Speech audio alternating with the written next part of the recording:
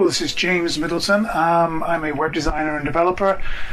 Recently encountered a nasty problem on my WordPress website. In fact, I've got about 14 websites, uh, all WordPress, and they all ran into this exact same issue.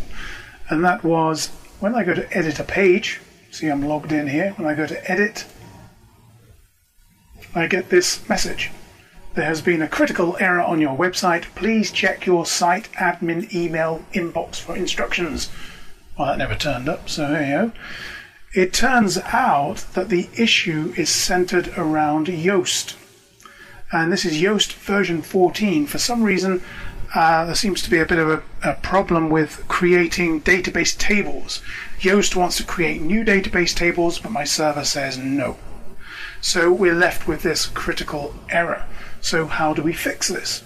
Well, this is the method that I've used. Let me just get rid of some of these. Okay, so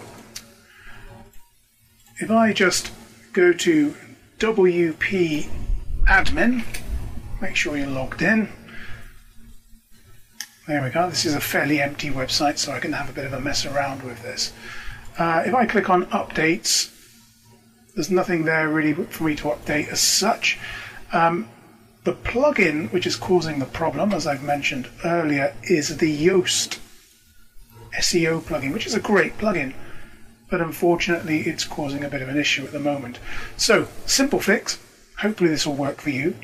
Go to plugins, go to the plugin editor, which is somewhere you really should not be messing around too often. Um, you can always read through that statement so you can fully appreciate how dangerous it is messing around with the code in plugins. So I'm just going to go ahead and click on understand. And what I need to do is over here at the right hand side of the screen, I need to click on the small drop down and choose Yoast SEO. And then click, click select. And it brings up the sort of main head file, which is the wp-seo.php for Yoast for the Yoast plugin. And it's dead simple. All you need to do, select over the 4, change it into a 3, click on Update File, File updated successfully, and then go to Dashboard Updates. And you'll notice now that the file version is different to the current version, we've got this um, Yoast has actually popped up as a file which needs, sorry, a plugin which needs updating. So I'm going to select that and click on Update Plugins. Now give this a little while. And there we go. Once we've got to the point when you see the Return to Plugins page, you know that you're safe to continue. Remember this page didn't work? We went to go and edit. It was the home page in this particular case. Would not work. Let's see what happens now if I refresh. So I'm going to do reload on this page and kaboom! I can now edit my page.